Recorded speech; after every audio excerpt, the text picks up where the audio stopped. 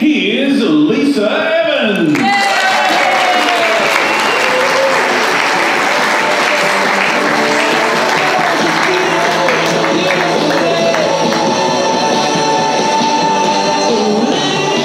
Thank you, everybody. It's at this point in time where I feel overwhelmed. I have a big lump in my throat. Overwhelmed at the amount of love and support that I get in putting on these events.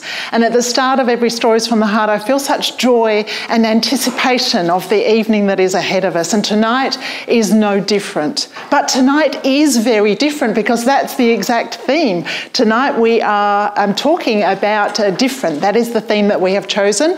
And we're certainly going to give Taylor Swift a run for her money for those people that have decided to be there rather than, than here. So, before I get into telling you more about the show, I want to introduce you to a main character in our story tonight, and that is our wonderful Auslan interpreter, Paula Norman.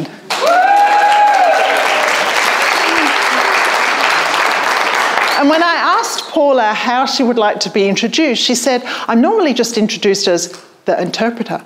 But I thought that she deserved a very special Stories from the Heart welcome. So I'm going to tell you a little bit more about Paula. So, Paula Norman is one of seven children born to her deaf mum Janice, who taught all the children to sign. Three of them went on to become professional interpreters, and Paula has been professionally interpreting for 23 years. Amazing.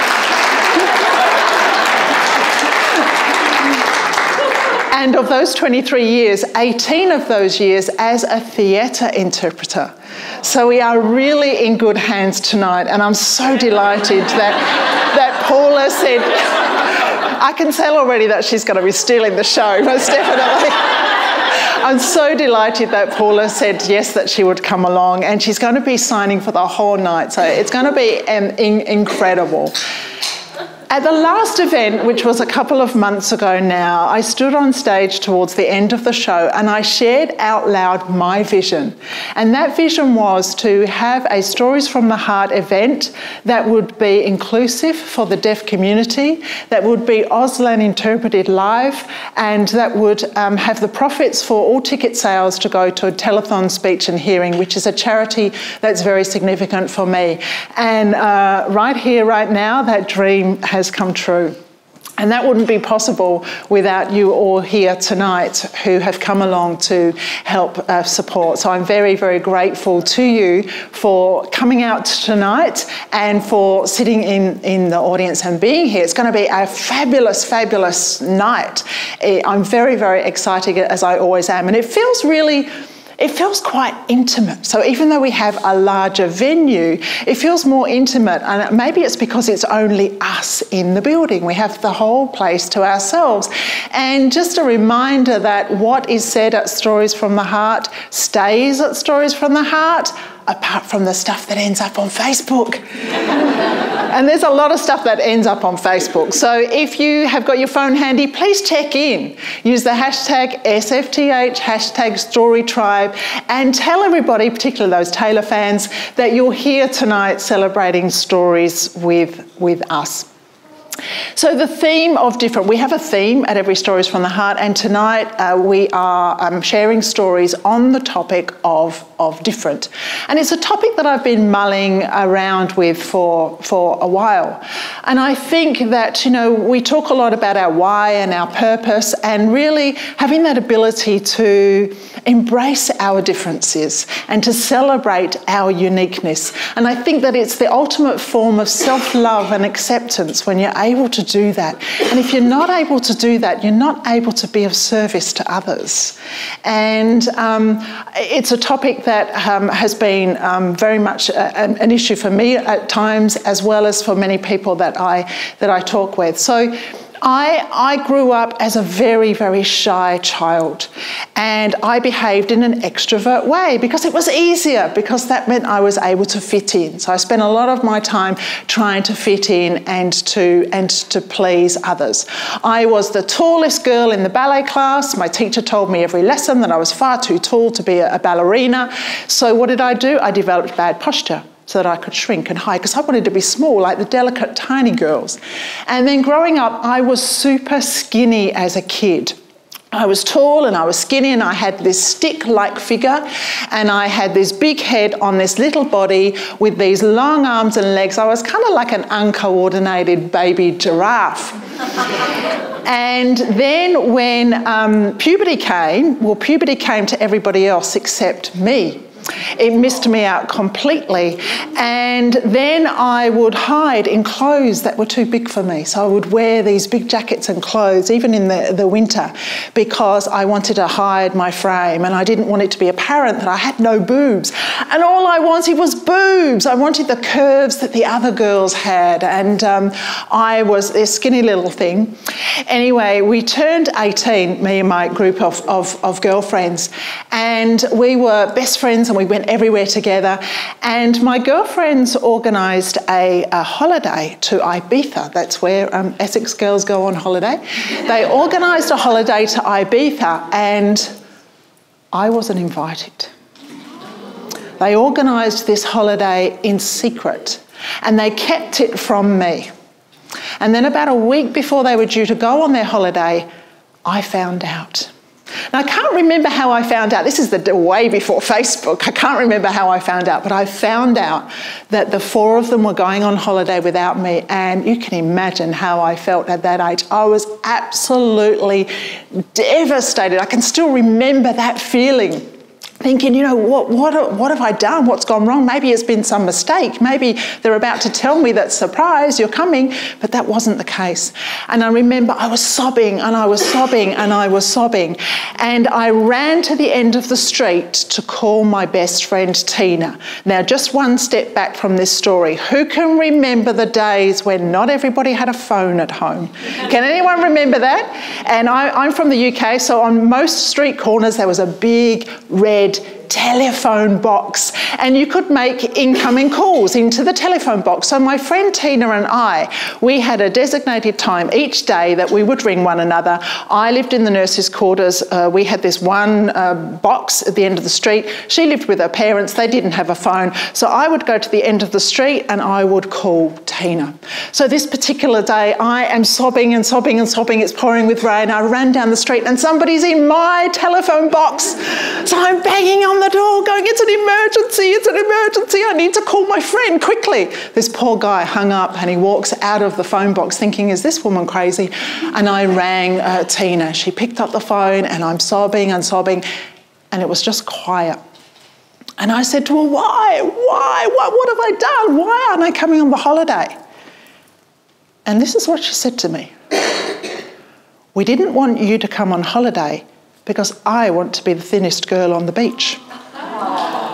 How weird is that? You know, what a warped mind that at that age we wanted the exact opposite to what we had. You know, all I wanted was the curves of my friends, and all they wanted to be was slim like me.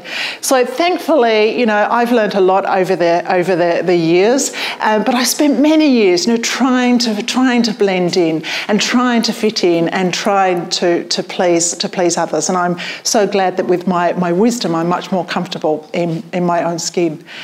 Now, when a virus destroyed a significant amount of my hearing, I was devastated because it meant that I was no longer able to work in my chosen profession as a midwife. I'd been a midwife for over 20 years, a job that um, is just wonderful, helping bring new life into the world. And at the time, it was really sort of the end of, of life as, as I knew it. I was left thinking, you know, what on earth am I going to do? But looking back over those 10 years, it's been an incredible adventure. And in losing my hearing and discovering my voice, I've also discovered so much more. I've discovered a resilience and a determination that I never knew that I, that I had. And in rediscovering a new purpose, I've now realised that I'm still able to bring joy into the world. I'm still able to deliver new life into the world, this time in the form of stories. And that's where I got the tagline of the story midwife. A client gave me the tagline of the story midwife. He introduced me, I went to this isn't in the story, by the way. I'm just making this bit up. Um, Paul will get used to this. So I, um, I was doing a, a speaking thing at, he, at an event for him, and he put it on Facebook that the story fairy was coming.